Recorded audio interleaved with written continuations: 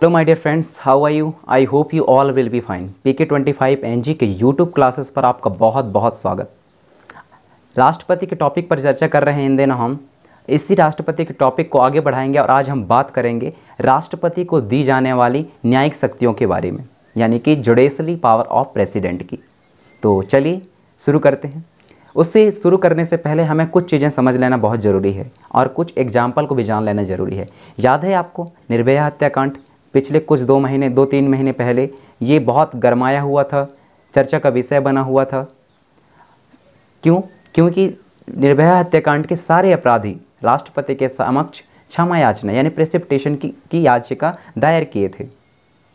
दूसरी बात, याद है आपको एक और मामला 1991 में, जब राजीव गांधी की हत्या कर दी गई थी, रैली के दौरान? उस टाइम पे राजीव गांधी के सारे हत्यारों ने सुप्रीम कोर्ट के खिलाफ जो है, राष्ट्रपति के समक्ष क्षमा याचना की प्रस्तुत की थी पर्सिपिटेशन डाला था। और उस केस में तो बड़ा दिलचस्प मामला देखने को मिला था, जहाँ राष्ट्रपति की क्षमा याचना के, को खारिज करने के बावजूद वो दोबारा मद्रास हाईकोर्ट में अपील किए थे। क्या है ये क्षमा याचना? और इसकी प्रकृति कैसे होती है? क्या राष्ट्रपति सज़ा को माफ़ कर सकता है? ये सारे ऐसे क्वेश्चन हैं जिनको हमें जानना बहुत ज़रूरी है। और ये सारे ऐसे क्वेश्चन किसके अंतर्गत आते हैं? राष्ट्रपति के न्यायिक शक्तियों के अंतर्गत आते हैं। राष्ट्रपति के जुडिशरी पावर के अंतर्गत आते हैं। तो चलिए, मिलते हैं और देखते हैं। चलिए, आगे बढ़ते हैं और राष्ट्रपति के न्यायिक शक्तियों के अंतर्गत हम इनमें शामिल तथ्यों को समझते हैं। राष्ट्रपति सुप्रीम कोर्ट के मुख्य न्यायाधीश एवं हाई कोर्ट के मुख्य न्यायाधीश की नियुक्ति करते हैं। लेकिन किसी कारणवश यदि राष्ट्रपति का पद खाली हो, या राष्ट्रपति विदेश यात्रा पर हो, या राष्ट्रपति का पद अनुपस्थित हो। या राष्ट्रपति अनुपस्थित हो। ऐसी स्थिति में राष्ट्रपति के पद पर आधिकारिक तौर पर कार्यरत व्यक्ति, यानी कि उपराष्ट्रपति, इनकी नियुक्ति करते हैं। साथ ही, राष्ट्रपति सुप्रीम कोर्ट के मुख्य न्यायाधीश को शपथ दिलाते हैं और 25 हाई कोर्ट, हमारे देश के 25 हाई कोर्ट के मुख्य न्यायाधीशों को नियुक्ति भी राष्ट्रपति करते हैं। लेकिन यहाँ शपथ दिलाने का श्रेय संबंधित राज्य के राज्यपाल को जाता है। अब हम ज़िक्र करते हैं आर्टिकल 72 की। आर्टिकल 72 क्या कहता है? देखते हैं। देखो, आर्टिकल 72 को समझने से पहले हमें कुछ और तथ्य समझना ज़रूरी है।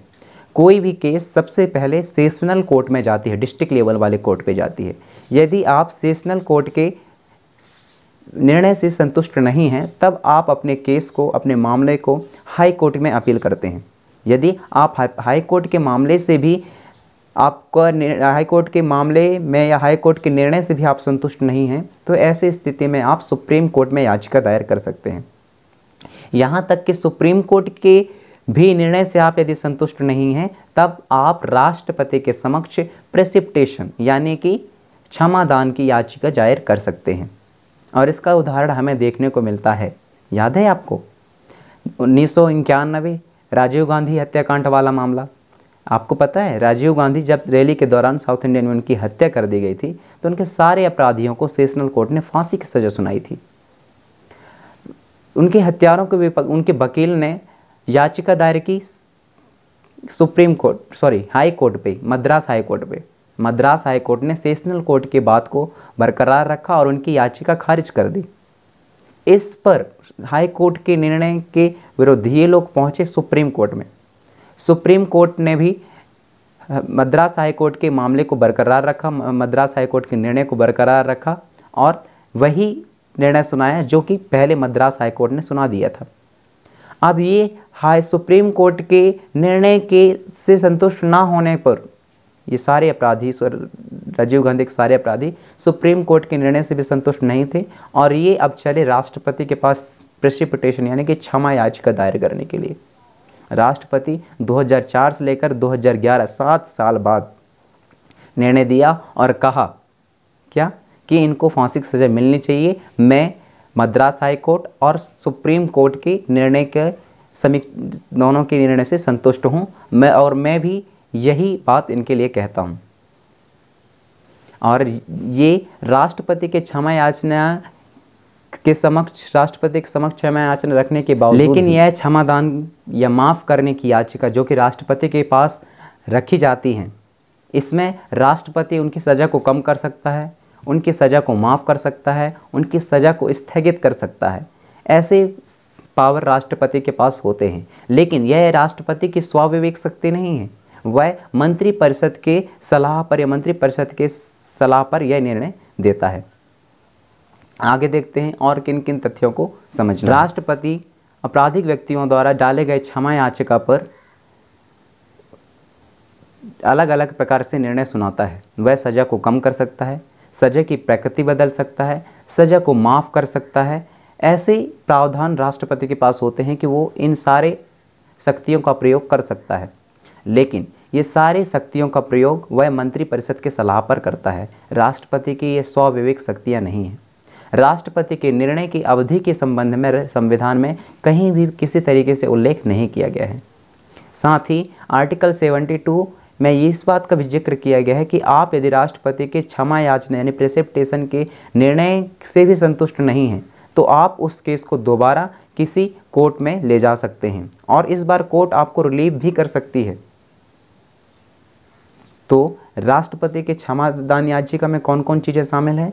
सज़ा को कम करना, सज़ा को माफ़ करना, सज़ा को स्थगित करना एवं सज़ा की प्रकृति को बदल देना। ये राष्ट्रपति इन, इस प्रकार के प्रावधान राष्ट्रपति के पास होते हैं। जब राष्ट्रपति के समक्ष कोई भी क्षमा याचना या प्रेसिपिटेशन खारे याचिका रखी जाती है, तब। आर्टिकल 72 के तहत यह अधिकार भी शामिल है कि राष्ट्रपति क्षमा कर दे। राष्ट्र राष्ट्रपति सज़ा को कम कर दे, राष्ट्रपति सज़ा को स्थगित कर दे, राष्ट्रपति सज़ा की प्रकृति में परिवर्तन कर दे और मृत्युदंड जैसे मामले में अस्थायी निलंबन कर दे। यही स्थिति स्टेट लेवल पर राज्यपाल को प्राप्त होता है। लेकिन राज्यपाल मृत्युदंड के मृत्युदंड के संबंध में राज्यपाल सजा को माफ़ नहीं कर सकता। राष्ट्रपति द्वारा क्षमादान। किस स्थिति में राष्ट्रपति के सामने आप क्षमादान की याचिका या प्रेसिपिटेशन डालोगे? तो यह है, जब दंड सेना न्यायालय द्वारा दिया गया हो, संघीय विषय से संबंधित विधि के विरुद्ध हो, तथा मृत्युदंड की सजा हो, ऐसी तीनों स्थिति में राष्ट्रपति के समक्ष आप समय क्षमादान की याचिका दे सकते हैं। आर्टिकल 143 कहता है कि इस मामले में राष्ट्रपति उच्चतम न्यायालय से परामर्श ले सकता है। इस पर सुझाव देने के लिए सुप्रीम कोर्ट एक संवैधानिक पीठ का गठन करती है, यानी कि कॉन्स्टिट्यूशनल बेंच का गठन किया जाता है। इस कॉन्स्टिट्यूशनल बेंच में कम से कम पाँच जजों की पीठ होती है। और ये ज़रूरी नहीं कि राष्ट्रपति द्वारा मांगी गई परामर्श को सुप्रीम कोर्ट दे। और ये भी ज़रूरी नहीं कि राष्ट्रपति सुप्रीम कोर्ट के परामर्श को माने। राष्ट्रपति स्वविवेक से व मंत्रिपरिषद के सलाह दोनों से सुप्रीम कोर्ट के परामर्श ले सकता है। इसका उदाहरण देखते हैं। बेरुवारी बाद उन्नीस अंठावन। क्या बोला गया है इसमें? पंडित जवाहरलाल नेहरू और पाकिस्तान के राष्ट्रपति गुलाब नूर के मध्य समझौता हुआ था। पंडित जवाहर राष्ट्रपति से इस विषय पर तत्कालीन राष्ट्रपति कौन थे? राजेंद्र प्रसाद से इस विषय पर सलाह मांगी थी। राष्ट्रपति ने सुप्रीम कोर्ट को परामर्श से मांगा था। राष्ट्रपति ने सुप्रीम कोर्ट का परामर्श मांगा। सुप्रीम कोर्ट ने आर्टिकल तीन सौ अड़सठ का ज़िक्र किया, जिसमें आई होप कि आप राष्ट्रपति के न्यायिक शक्तियों के बारे में, यानी कि जुडिशियल पावर ऑफ़ प्रेसिडेंट के बारे में अच्छे से समझे होंगे। इसमें दो तीन चीज़ों का ज़िक्र किया गया है, राष्ट्रपति के न्यायिक शक्तियों में। वो हैं, सुप्रीम कोर्ट और हाई कोर्ट के सभी न्यायाधीशों को राष्ट्रपति नियुक्त करते हैं। हाई कोर्ट के न्यायाधीशों को स्थानांतरण करने का अधिकार सुप्रीम कोर्ट सुप्रीम कोर्ट कहता हूँ, ये राष्ट्रपति के पास होता है। साथ ही, न्यायिक शक्तियों के अंतर्गत राष्ट्रपति के पास किसी भी सज़ा को माफ़ करना, सज़ा को स्थगित करना, सज़ा को कम करना व सज़ा की प्रकृति बदल सकने की क्षमता होती है। यह पावर होता है, अधिकार होता है। और राष्ट्रपति के क्षमादान के बारे में हमने अच्छे से चर्चा किया। इसके अगले अध्याय में हम बात करेंगे राष्ट्रपति की वित्तीय शक्तियों के बारे में। तब तक आप सब अपना ख्याल रखिए। बहुत बहुत धन्यवाद। Thank you